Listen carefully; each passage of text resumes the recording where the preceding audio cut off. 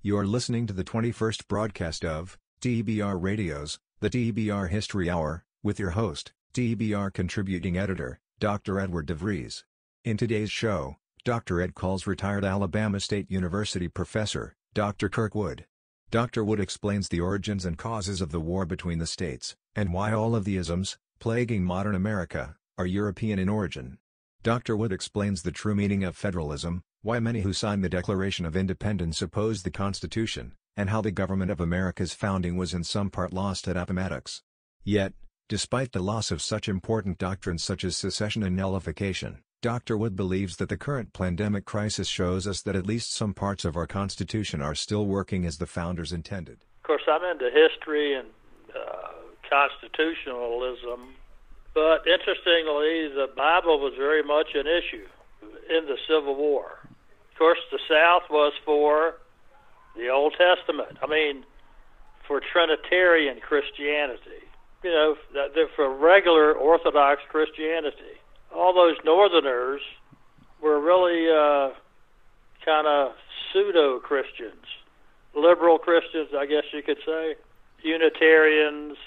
They were anything but Trinitarians, and it's quite a difference, you know. And that's why they that's why they could uh, be in favor of abolition.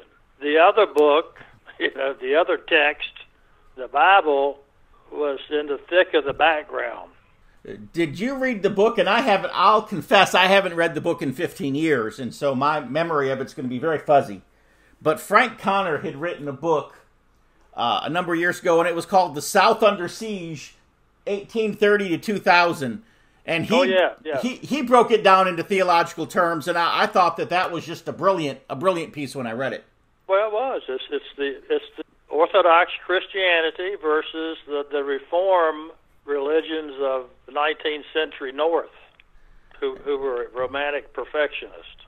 You need to take a look at uh, Eugene Genovese on the mind of the the mind of the master class he goes into Southern history and theology. He said at least the South, the South was right about the, uh, the the South was right about the Bible. You don't find that in too many works.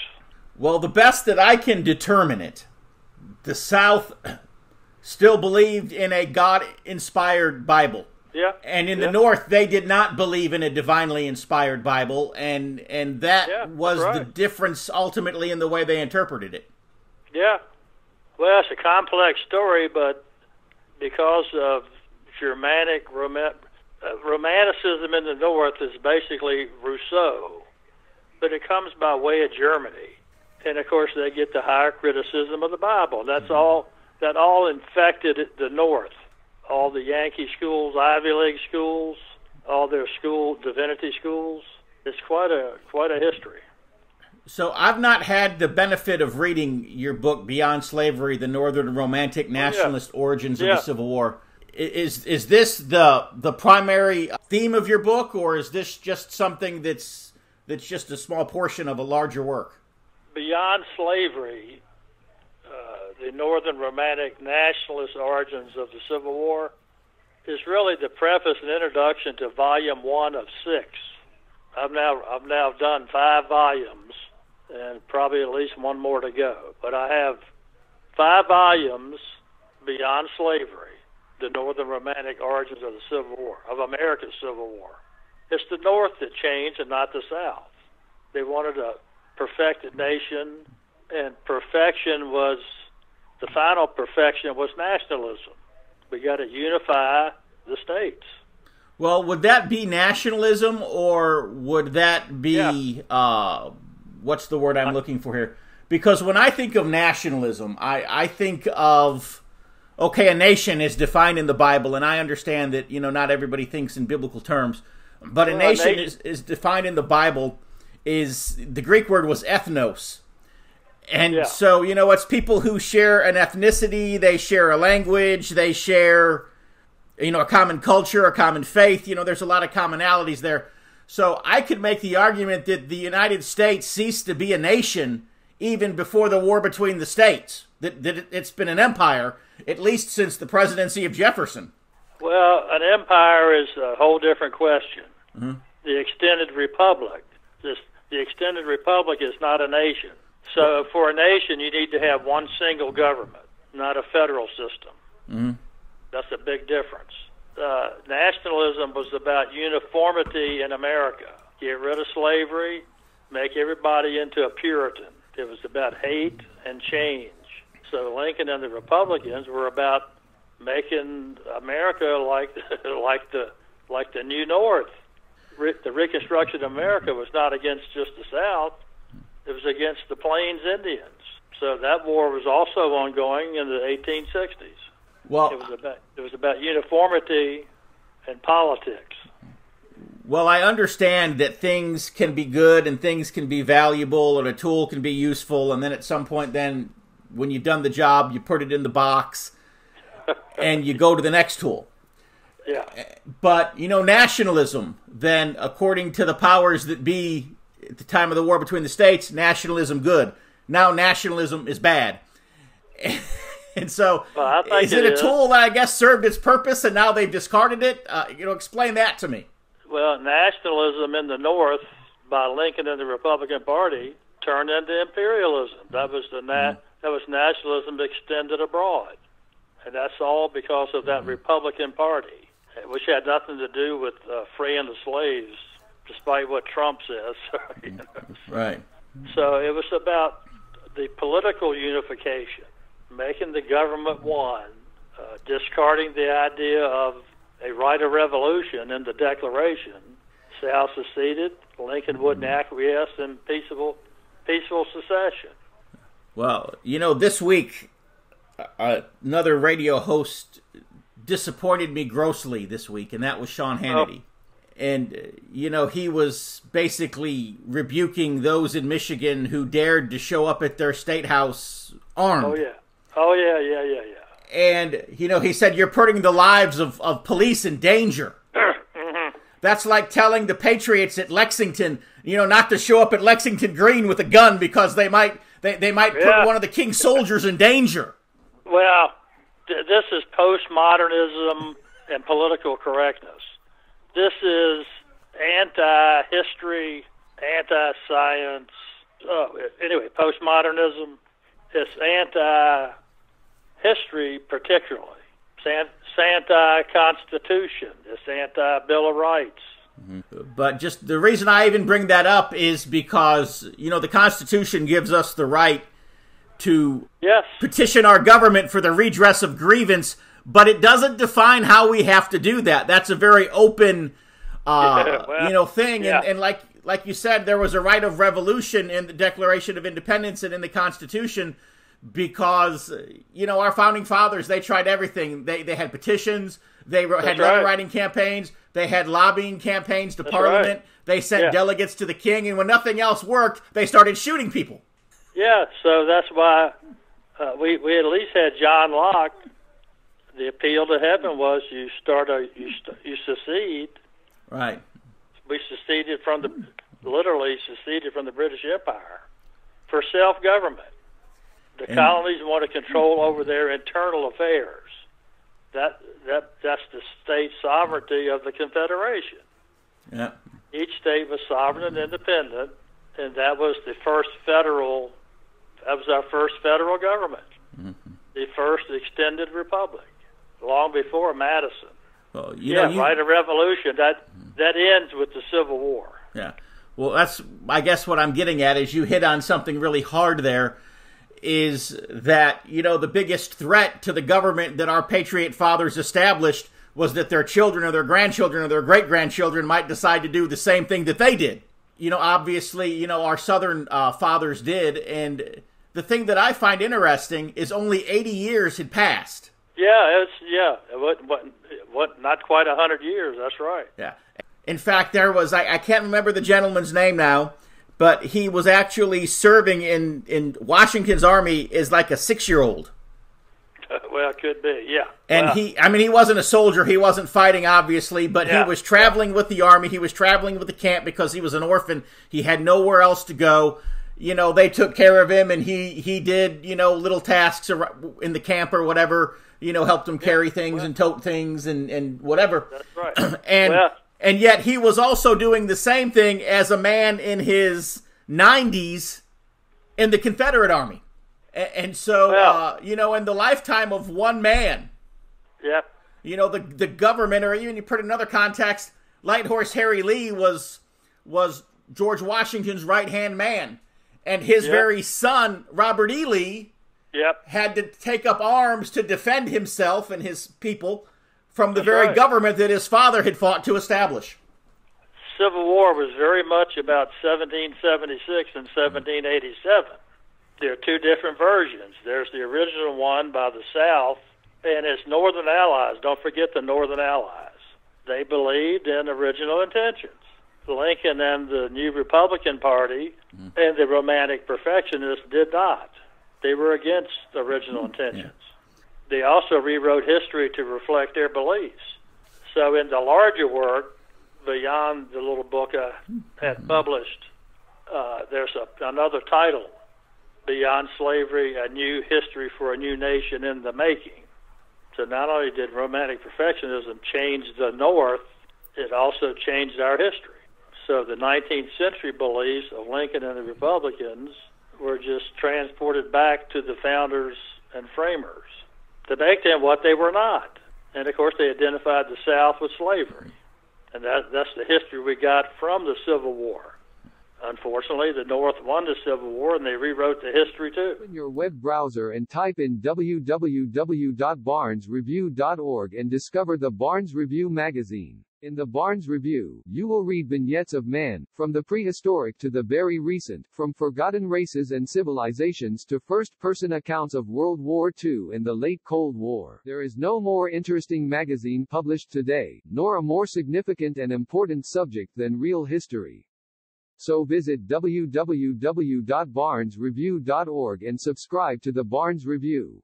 You can subscribe to receive the Barnes Review magazine in its print form, or in convenient electronic delivery. Our host has been a subscriber to both formats for years. So visit www.barnesreview.org and subscribe to the Barnes Review. So obviously, you're you know stating the truth here that slavery was not the cause for the war, but all of these years later now, oh, yes. why did slavery have to become the official cause? In other words, what were they covering up? The South's defense of original intentions, the Constitution, the Declaration. The Declaration was about independence, not equality. That's one thing that changes. 1776 was about independence, not the equal rights of men. The Constitution was not did not create a nation. So the, the Lincoln and the Republic, Lincoln and the Republicans have to legitimize their newer ideas. The South, they knew, were defending the, fa- the framers and the founders. Well, let's identify them with slavery. The Civil War was an irrepressible conflict between 18th century republicanism and 19th century romanticism. Okay, e- explain this for our listeners because you know you use a term like republicanism, and Yeah. people automatically think of Republican Party. No. Kind of explain to people that back in this period, Republicans of that period were more like the Democrats today, and the uh, Oh, yeah. the, Oh, yeah, the yeah. and people who believed in republicanism would have actually uh, you know been Democrats back then. Well, the Republicans were not. First of all, when you say slavery is the cause of the war, the South wasn't about defending slavery, and abolition did not mean black equality. My God, the whole the the, Link, the Lincoln and the Republican Party came to power 1856 to 1860 on free soil, free labor, free men, whites in the territories only, no blacks wanted. Eric Foner's book, uh, Free Soil, Free Labor, Free Men, gets into the ideology of the Republicans. And they were as racist as anybody else. They didn't want the blacks. So they say Congress has the power to prohibit slavery. No, they don't. The, found, the founders left it to the states to decide for or against. Only a state admitted into the Union could decide on the issue of slavery, not Congress. That's the cause of secession. The resistance to secession was one nation. We got to get rid of got to get rid of disunionism. So slavery in the territories is the issue that brings on the war, and it was constitutional. You know, can you talk about slavery in the territories? You have places like Missouri and Kansas. Yeah. And you know, you could make the argument that the war had actually started out there, if you will, or at least the division had started there. You know, mm-hmm. years before states started seceding. Well, you had oh Lord, that's a lot of a lot of history. you know, bloody Kansas. That was uh, Southerners and Yankees on the borderlands. Southerners moving up, Yankees moving across the west. It was kind of like a civil war. What kind of constitution would a new state enact? Would it have slavery or would it not? It really made no difference because there were no slaves about to go into the territories. You know, I think in 1860 there were what six slaves in New Mexico. They did. They just were not. They were not. Slavery was not going to expand any further than it had. Well, you could make the argument that the people who were moving westward into the territories, they were going there to get land grants, and the reason that they needed a land grant was because they couldn't afford to buy land where they were at. And if they couldn't afford yeah. to buy land, how are they going to afford to buy a slave? Well, of course. And of course, the other thing, uh, the framers did ban the slave trade. The slaves in America, what, 400,000 about 1790, reproduced themselves to become almost 4 million. Nobody could predict that. But anyway, the short supply meant that the price of slaves was reaching a point where nobody could afford to buy one. So the high price of slaves would have had something to do with the amelioration of slavery. You know, it's funny you talk about the high price of slaves. If if you were to think of slaves in terms of farm implements, you know, tractors and farm implements are becoming yeah. so expensive now that the farmers can't afford them. And not only that, they're they're going back to these old 1970s and 1960s tractors, not only because they can't afford the new ones, but because they can work on the old ones. Yeah, that's right. And so was was the raise in the price of slavery was that uh, because a lot of things are, are driven by the government to drive a to drive a social agenda or a political agenda. Yeah. In other words, what was was there some underlying government force that was pushing up the price of slaves to to try no, to? No, it was it was just you can't get any more from Africa. The world had gone more uh, anti-slavery and abolition. Most of the world had become abolitionists by then, so there was no there was no supply and at some point in time, unless the birth rate kept up, there would have to be something done about slavery. You would have to, you know, you would have to transform the labor supply. Now, of course, the other thing about the territories is, if Lincoln and the Republicans weren't egalitarians, what about the black people? Well, Reconstruction in the South was to keep them there. Elect, put in black elected officials for safe Republican votes to continue the economic policies of the Republican Party, all of which were enacted in the early part of the war when the South was out of the Union. Well, after the war, well, let's have let's have more states and make them Republican, safe Republican votes for a continuing Republican majority for the economic agenda. So, from the best that I can tell, there really wasn't a hatred amongst most Southerners for blacks, and there really wasn't a hatred amongst most Southern blacks for, you know, white Southerners. What we know is of as racism or racial tension or whatever seems to have been a creation of the Yankees post war. Is these black people were being put into these positions that they knew were, were out of their place. They had to know that they were being used. In other words, they had to know that army that had just invaded them and had just ravaged what had been their home as well mm-hmm. couldn't have their best interest in heart. It certainly they had to be more intelligent than that. How and why did these black people allow themselves to be used basically by their enemy, not only against their former masters, but even against their own best interests? Well, they thought they could help the, the, the black people in their states, number one, but they wanted power like everybody else, you know, black governors, the black congressmen. So the quid pro quo was we vote Republican in the congressional and presidential elections, and if we need you in the from Washington we'll call on you. But in the meantime, we'll we have enough support to maintain control. There were a lot of dynamics to that period, to the pre-war, the war, the re- and especially Reconstruction.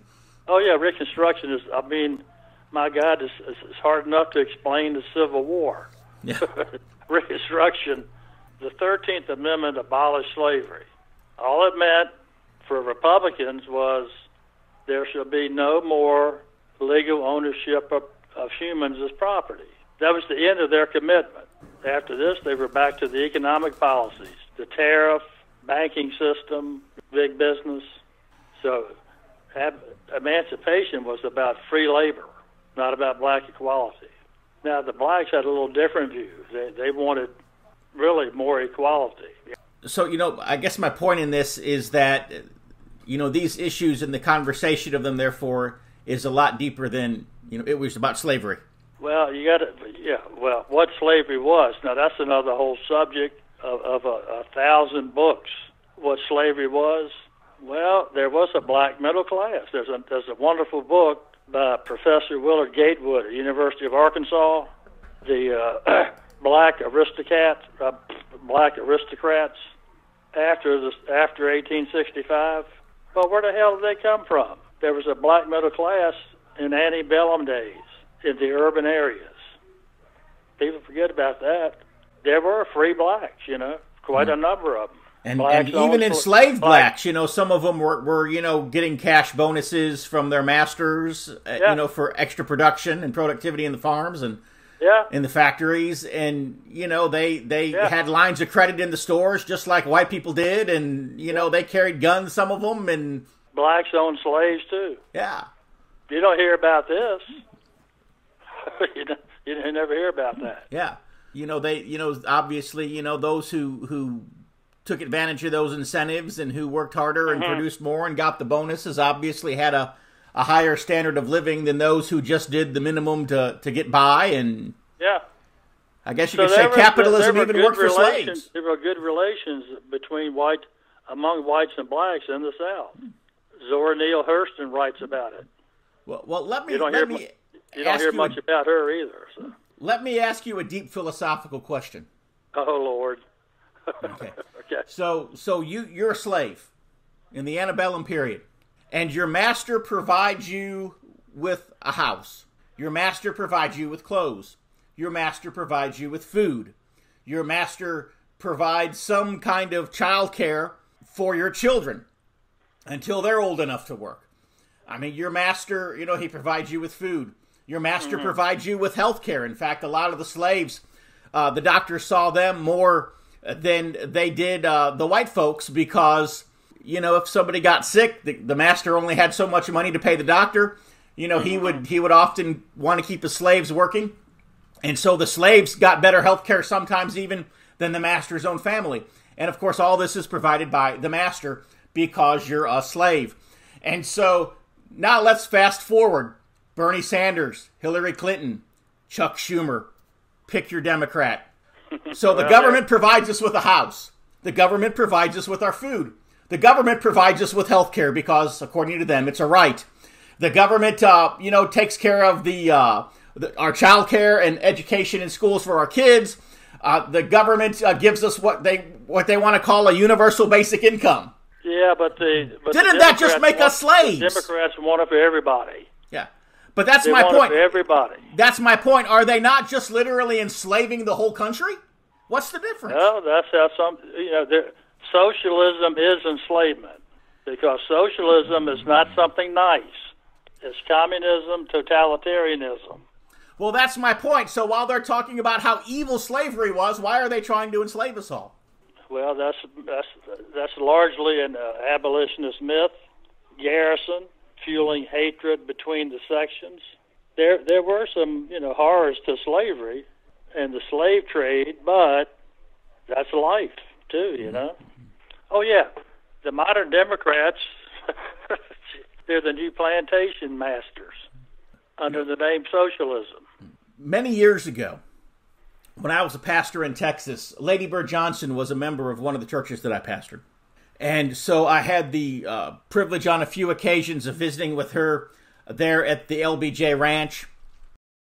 Wow. She told me one time because I, I asked her just one day. I just asked her about some things. I said, "I'm not trying to be." I told her, I said, "I'm not trying to be critical of you or your husband." I said, "I'm just trying to put history in perspective." And her response to one of my questions was that her husband, though he would have never said this publicly, but that he had said it privately on a few different occasions and, and several in her hearing, was that the whole war on poverty and the whole Equal Rights Act and the whole, you know, the whole uh, the whole welfare system and everything was that they were just building a big plantation. well, That they were just going to take all the. I'm not going to use the word because we'll get kicked off the radio. Yeah. But Yeah, but but yeah. They, they were going to take all the black folk and they were going to round them up and put them on one big government plantation.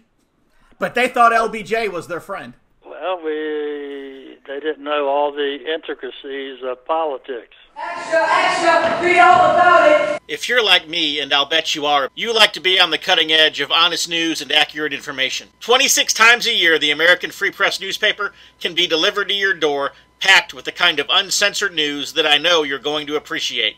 If you're ever dissatisfied with your subscription to the American Free Press, their guarantee is that you just drop them an email and they will gladly refund the unused portion of your subscription.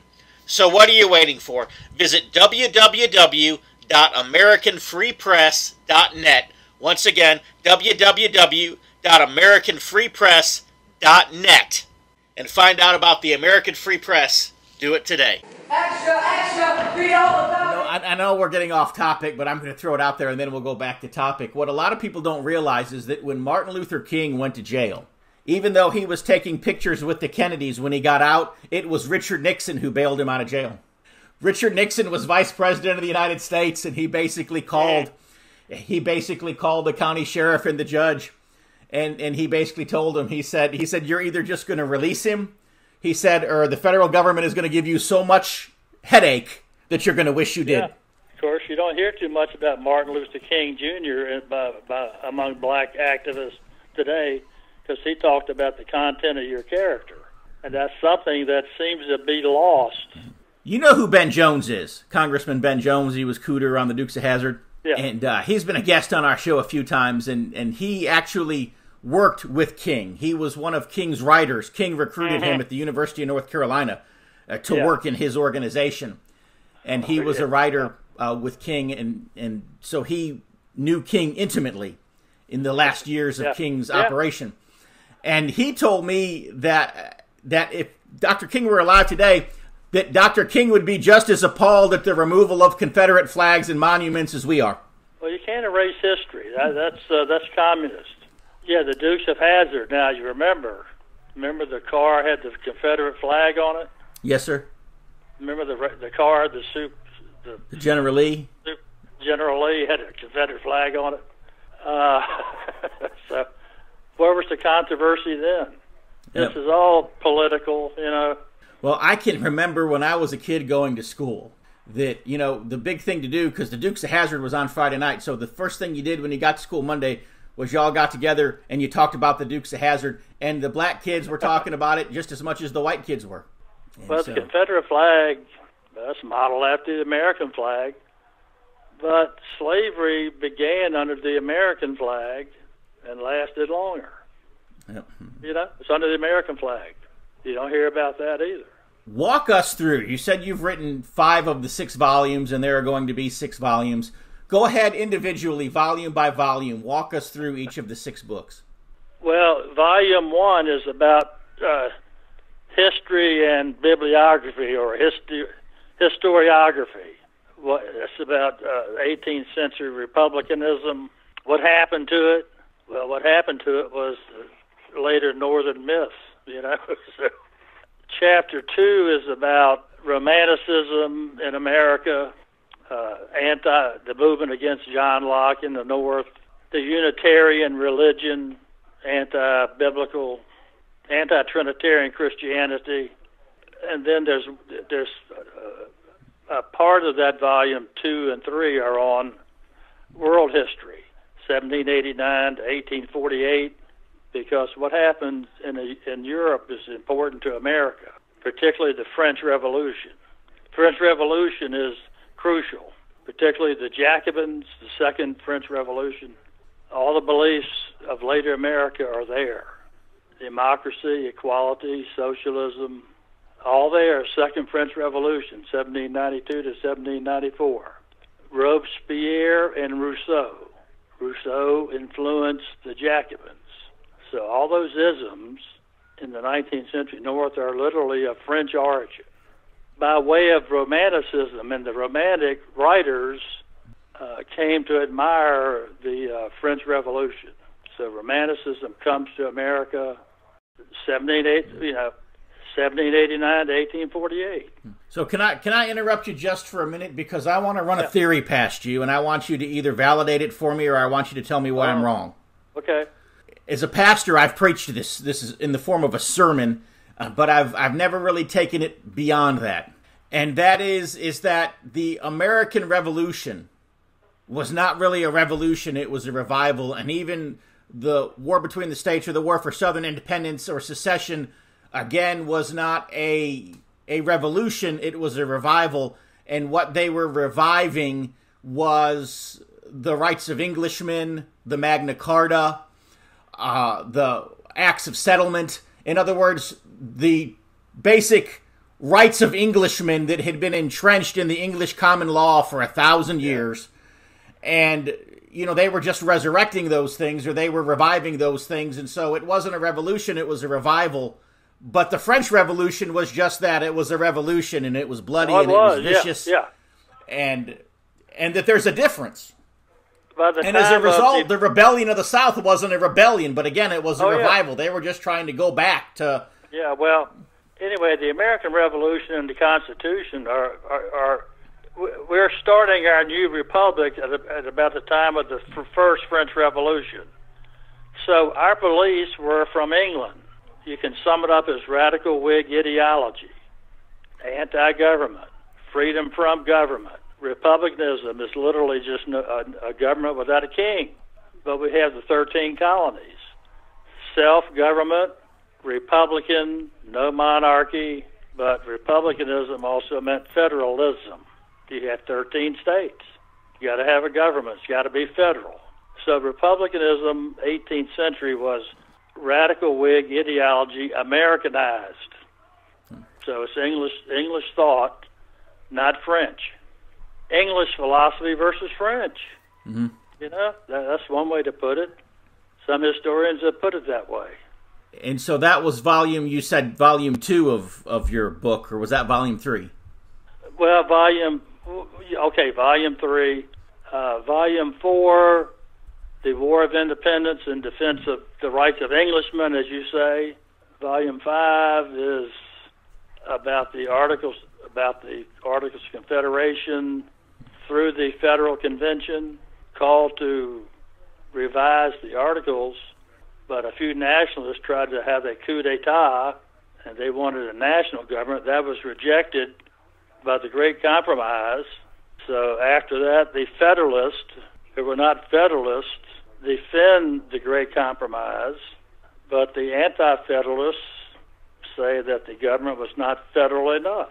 We need states' rights. We need a Bill of Rights. So literally, with the Anti-Federalists, we get amendments, both the Bill of Rights and rights reserved to the states, and that creates a whole new federal republic. People forget that. And then the Civil War in the North, you get the the North, and what happens 1815 to 1860, the Romantic Revolution, and that's the origins of our Civil War. Hello, I'm Tom Strain, Lieutenant Commander in Chief of the Sons of Confederate Veterans. The Confederate flag, Confederate symbols, and the reputation of our Confederate ancestors has come under attack. The Sons of Confederate Veterans is actively fending off our detractors, but there is only so much that we can do. We need your help. Contact your local, state, and national elected politicians and tell them that you will not tolerate these attacks on our heritage. You can also visit scv.org download an application to join us in our fight to preserve our Southern heritage. Visit scv.org today. If you don't have a Confederate ancestor and you are tired of American history disappearing, you can assist us by becoming a friend of the SCV. Please visit scvheritagedefense.org and make a donation to the Heritage Defense Fund. We hope that you will join us in the fight to defend the Confederate soldiers' good name.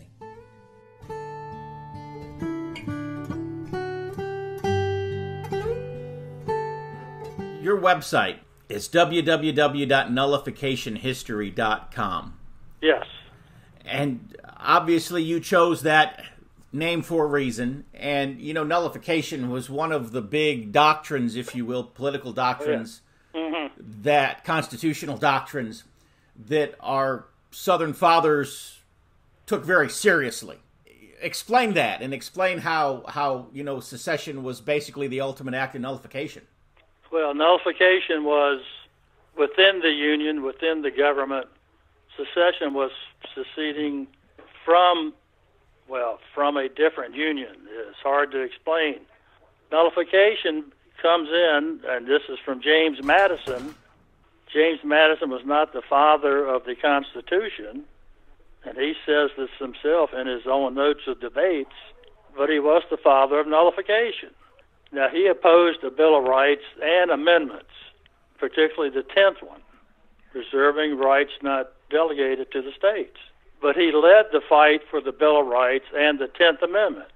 And then he goes on to explain how that changed the nature of the government and the Union.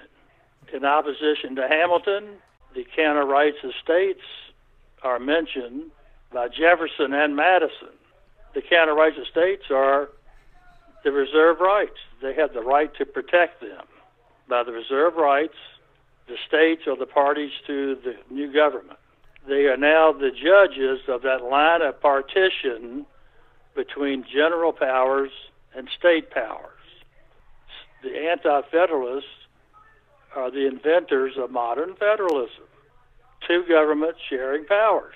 Each one, the states had uh, a counter they had a power of self defense in the form of a negative. State interposition to defend their reserve rights and the division between the two governments. This is what Madison says in 1798 and Jefferson, and particularly Madison and the Virginia Report of 1800 has a it's really it's really a history of American government from the Revolution. And he maps it out state interposition, a right to protest uh, the actions of the federal government. Of course, it became a uh, it, it became a moot, a moot point when Je- when Jefferson won the election of 1800. So nullification sort of died right there. It, Okay, explain to me how nullification died with Jefferson, because I would have thought that Jefferson would have been a champion of nullification. Maybe, maybe I miss, or, or how do I say this? no, no, maybe no, I'm mistaking Jefferson's writings with his actions. I, I don't know. No, no, no, no, no. They were nullifiers. They, they were state interpositionists. But they won the election, so they didn't need to follow through on the protest. So the theory was there. The Jeffersonian Republicans did not have to use it. But you have the you have the Constitution, you have the Bill of Rights, you have the Virginia Report still persisting into the early 19th century as a theory, as a right. It's a constitutional right. This is what Calhoun discovers. People forget Calhoun didn't invent it. The key to Calhoun was, and he used the journal of the the Journal of the Federal Convention that Congress reluctantly agreed to publish in 1819. Calhoun gets his information not only from the Kentucky Virginia resolutions and the Virginia report, but from the journal of that federal convention, the notes kept by uh, Secretary William Jackson. So he goes to the original source to get state interposition. The, the opponents call it nullification. Calhoun didn't invent anything. He just repeated original intentions. An- another name you had mentioned as being in opposition to nullification and you know, his being in oppos- opposition to James Madison was Alexander Hamilton. Of course, Oh yeah. you know, there's a big Broadway musical right now called Hamilton, and all the liberals just think he was all the rage. So explain to it why why all the liberals are celebrating Hamilton today, and why the musical wasn't Madison. Well, first of all, Hamilton is portrayed as a black person, so that's ahistorical. Hamilton was uh, was against Republican government. Now he supported the Federal Convention. He co-authored the Federalist, but he supported the Bill of Rights just so he could get the Constitution ratified. He didn't care about the Bill of Rights. But we know this because of the Alien and Sedition Acts later on. He was for a kingly government. He was for a central government, and he tried to he tried to he tried to get one through construction of the Constitution, loose construction. Well, it's too hard to amend. Well, we'll just reinterpret it. General welfare clause. So he was going to use construction and language to enlarge the powers of the government.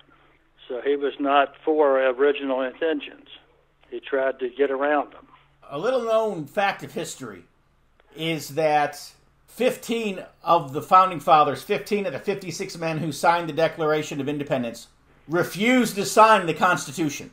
And that's 26%. That's more than a fourth. Of course, Yeah. other of the founding fathers signed or went along with the Constitution only reluctantly. And so, explain why it is that, that the men who were the very founders of the country and the signers of the Declaration of Independence would have been opposed to the Constitution. Well, they would have been opposed to the Constitution. Well, this is this is complicated. They would have they they definitely opposed the nationalist plan presented by Madison, Hamilton, James Wilson, and a few others at the beginning of the convention.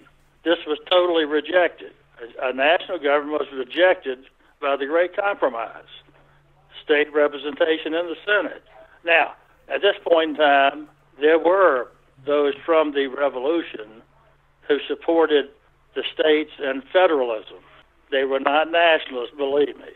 So they would have they, they were opposed to any to any central government. In some fashion, the states had to have a role in the government. So, So so supporters of the Constitution or the plan of government coming out of the convention, most of those were not nationalists or centralists. They didn't want another. They didn't want Great Britain in America. so your latest book is a 156 page work titled An Inconvenient Truth A National Government Rejected in the Federal Convention of 1787 and Oh, yeah, How It Was yeah. Forgotten by Northern mythmaking. Yeah, that that's the introduction to the volume on the period from the Confederation to the Bill of Rights. So that's just the introduction to that volume. And so, explain how, even in the adoption of a constitution, that nationalist government, if you will, that was created by the war between the states ultimately in Reconstruction, explain explain how and why that was rejected, even in the adoption of a constitution. The national government proposed by a few nationalists at the beginning of the Federal Convention, convention was what they call a consolidated government. It would be one single supreme government for all the people, for the people at large, without any state intervention. So it would have been the equivalent of a monarchy. You know, it's what it's what they. this, this is why the hell they seceded from Great Britain. You know, a, a central power dictating to the colonies even even the internal affairs of their colonies. This was rejected. This became a reality with Lincoln and the Republicans by force. You know, that's what the war was about. So I want to ask you a question about the historical accuracy of a meme. And the meme is 17, 1789, and the Bill of Rights is being adopted and added to the Constitution. And as these things are being debated, George Washington looks over at James Madison and says, But of course, if everybody starts getting sick, none of this applies, correct? Uh, Washington was a nationalist. Mm-hmm. Right. Of course, I guess what I'm getting at is you look at the situation that the country finds itself in now. Given the Constitution that we have and given the government that was set up by our founding fathers, and you know even the modifications that were made to it in Reconstruction and, and because of the war between the states, could we have wound up here today without the war between the states? And you know how, how did we get to the place where where you know the governor just wakes up one day and you know basically shuts down his whole state and says you know constitution doesn't apply anymore I mean, states' rights is almost being turned on its head and being used against the people right now. But we still have the Bill of Rights and the Tenth Amendment. Now, the Tenth Amendment has been nullified effectively, but not the Bill of Rights. Not the Bill of Rights. Thank God for the anti-federalists So the Bill of Rights. This is why those people are in the are protesting all these draconian laws about you can't go out, you can't you can't open your business. So they're protesting because of the Bill of Rights. So in, in that case, the Constitution still works. Thank God. Okay. Welcome to the Christendom curriculum. You know, every parent who decides to homeschool wants to secure a great education for their child, while also saving time and money. But these days, many parents have another concern. They also want a homeschool curriculum without all the multiculturalist, politically correct diversity doctrine that's really little more than a thin disguise for an anti Christian, anti American, and anti Western civilization bias. Now there is such a curriculum. The Christendom curriculum gives your children a complete education in Bible, history, literature, and more focusing on the classic academic skills of reading, writing, and arithmetic.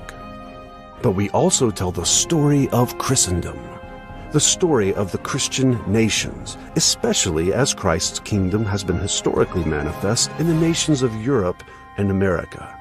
And we do so without apology. The Christendom curriculum is the only Christian nationalist homeschool program you'll find. We support the right of the European and American peoples to their historic Christian cultures against the globalist leftists who want to destroy those cultures. Not only that, but we provide assigned reading courses for various hot button subjects in our current culture wars, including feminism, social justice, and cultural Marxism, among others. These reading courses will teach your kids how to survive a social justice warrior attack how to debate with leftists on social media, how to reform their local churches and communities, and more. We're living in a time of tremendous historical and social change. Christians have the opportunity now to begin building the culture and civilization of the next thousand years and beyond. It's an exciting time to be alive. So if you want to help raise the next generation of culture warriors, if you want your children to grow up with a love for Christ's kingdom and for their own nation, while at the same time learning how to defend America and rebuild the West, the easy to use Christendom curriculum is for you. Click the Learn More button to get in on the action. And thanks for listening.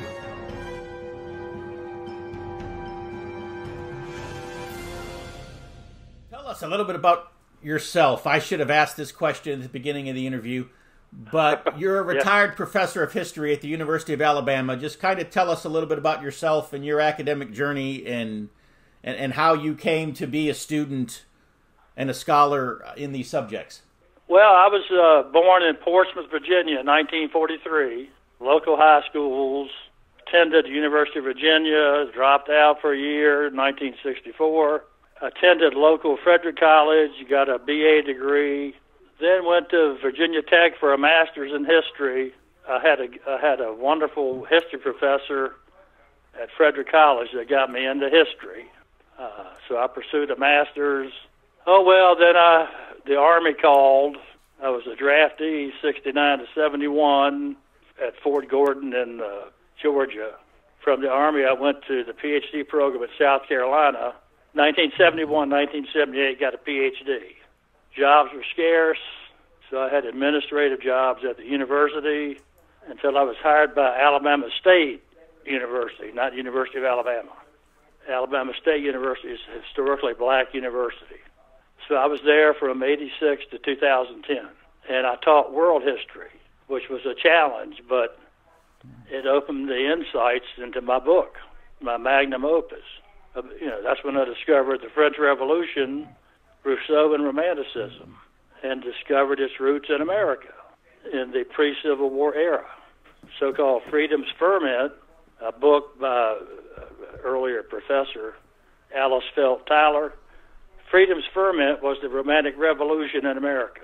People forget this. It was something new and different, foreign and alien. So basically, beliefs in democracy, equality, nationalism, socialism, feminism, all those isms are not American. They're from Europe. They're imported. And of course, nationalism became the final perfection of America for that period, the Civil War of Romantic origins, nationalist origins. Now, before I got on that, I did two volume study of nullification, nullification of constitutional history. It was constitutional. It was an original intention. Nobody else says so, but there it is. So I, I kind of dug into the archives and the sources. Well, there, there's there's James Madison supporting nullification, you know, or or state interposition. So the nullification volumes were kind of the background to my magnum opus now, Beyond Slavery. So you taught for 24 years Yeah. at a historically black college.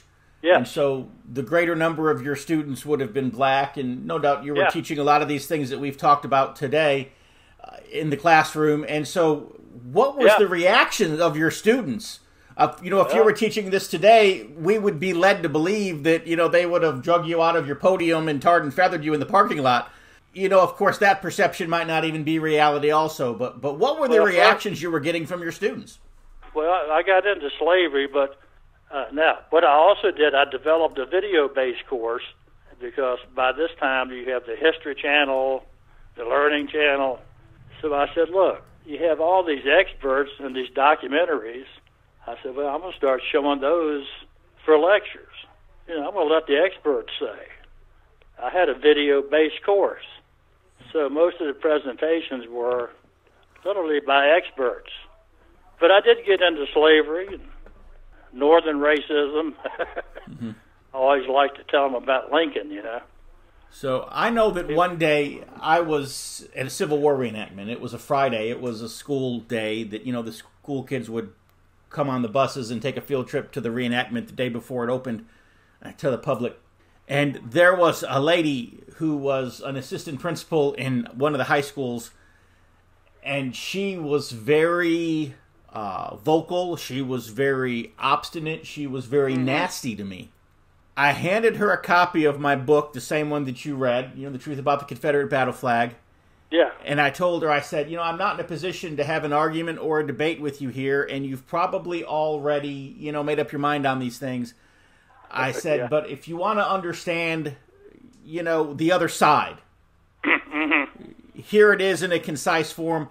You, you can agree with it, you can disagree with it, but at least you'll you'll know where the other side is coming from. I said, you know, you're an academician. You know, obviously, you, you can appreciate the the validity of, of that. And she very belligerently took a copy of the book and you know stormed off and took you know her group with her. The Yeah. next day, sometime Saturday afternoon, this same lady comes to my tent. She finds me. She comes to my tent, and she is in absolute tears. And she's like, "I'm sorry, I didn't know." Oh, good.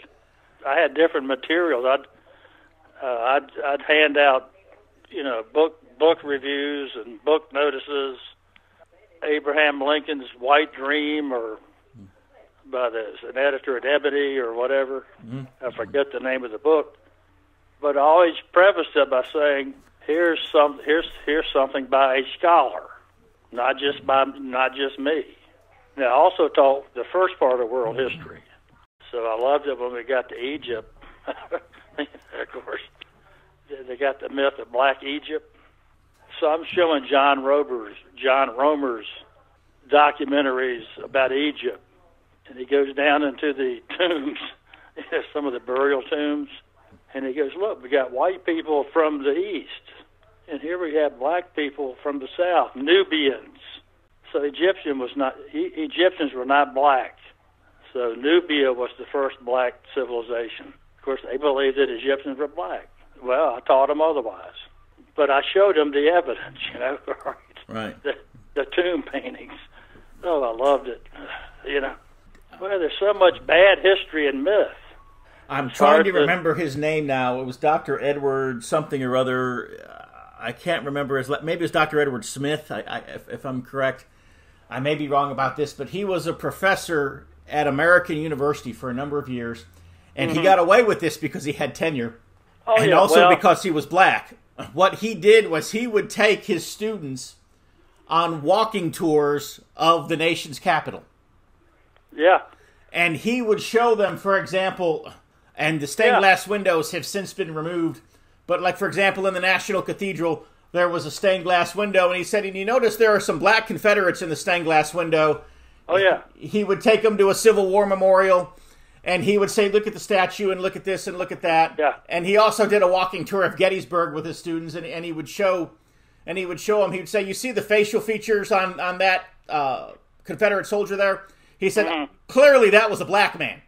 You know, that's. Oh, not yeah, a white well, man. A white yeah. man wouldn't have that nose. A white man wouldn't have those eyes and, and, and, and that jawline and those cheeks and that Uh, yeah. those lips. Well, that, that's true. Well, now later on during the Middle Ages, I get I get I showed showed them videos of Sir Maurice, a Black Knight. They love that. you know, there's a real Black Knight. You know. But that's And how he shattered the, the you know they say it's a myth that there were black Confederates. He's like they were very real. You know, I would often uh, you know I would often use that you know rather than me being the white guy trying to convince people that there were black Confederates, I would just let the let the professor from American the black professor from American University do that teaching for me. I was just I just got a book here, Mary Lefkowitz. This is a oh, that's an old book now. Not out of Africa about Afrocentrism, how it became an excuse to teach myth as history. That's an old book now. Not Greece, but Egypt, Black Egypt. Anyway, the documentaries helped because they knew it just wasn't me, you know, and there was visible evidence of whatever I was saying. So the videos really helped. Of course, you're retired now, so you don't have the burden, if you will, of having to teach in our present, you know, period. Uh, but just a few years ago, I found that, that you could have discussion and discourse on these things. Now it's as if you Yeah, can't even have yeah. the discussion. Nope, you can't. Well, I read about a black, a, burning of a black church in Mississippi in the, I don't know, wasn't wasn't in the early '90s, maybe late '80s. There was no protest about the Confederate flag then, as what happened in Charleston. So this is all orchestrated outrage. The other thing I find interesting is, you know, particularly in Michigan, with the protests that are going on there against uh, the governor, is she keeps going on and on about these Confederate flag waving protesters. And Oh, yeah, CNN keeps going on and on, and they don't want us Yep. to ever forget that there were protesters with Confederate flags in Michigan. There, there might have been two Confederate flags out of out of five thousand people. Well, my God, people wear the Confederate flag who know nothing about it. Yeah, they just, they just like the flag, you know. Yeah. So so when everybody I- has forgotten literally everything about these protests, the one thing they Yeah. will remember is that there were Confederate flags, even though there weren't. The problem with political correctness is they don't care either. It's anti-history. It's anti-science. It's anti-rational. Was there something that you wanted to discuss today, and I just did not ask you the right question? Uh, the South was right. just end with that. It's a good thing that my conversation with Dr. Wood ended there because we are now out of time for this week's TBR Radio Presents the TBR History Hour. But I do appreciate the fact that you have spent the last hour with us, and I hope that in some way it was edifying and intellectually stimulating. I know I definitely enjoyed the conversation with Dr. Kirk Wood and would like to encourage all of our listeners to go to his website, www.nullificationhistory.com and uh, some great material there. In fact, some of uh, Dr. Wood's older books, as well as the uh, advanced copy or the rough draft copy, I guess is a better way to put it, of his current volume six of his uh, book on the causes of the war between the states, are available for free on his website in PDF form. You can just download them and read them. And it's it's like taking a college course. It really is. It's just some great uh, scholarly stuff that you can get your hands on. I'd also like to encourage you to go to www.barnesreview.org. Check out the Barnes Review. If you haven't already subscribed or gotten a copy of the May June issue of TBR Magazine, you'll want to do it on the website as well as check out the bookstore. But like I said, we are out of time, but we will be back again next week. And Lord willing, our guest will be Lieutenant Colonel Edwin Kennedy. And I want to say our topic of conversation is going to be the Battle of Berlin. In any event, we will be here next week once again, same bat time, same bat channel. Until then, from all of us here at TBR Radio, God bless. Talk to you next week.